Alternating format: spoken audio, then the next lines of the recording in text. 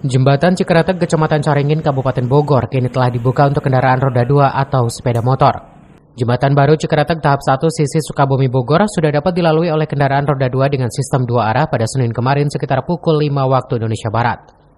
Pembukaan jembatan ini membuat semua warga bersyukur karena mereka tidak harus melewati jalan alternatif lagi yang struktur jalannya memutar dan curam. Jembatan Cikretek ini memang padat oleh kendaraan roda 2 terlebih pada saat jam kerja. Warga berharap jembatan ini tidak kembali longsor seperti sebelumnya. Ini kita di jembatan Cimande, Kertek, uh, bukan Cimande, Kertek, sudah bisa dibuka, dilalui untuk khusus untuk kendaraan roda dua aja. Untuk sementara roda 4 tetap diputar balikan ke arah tol.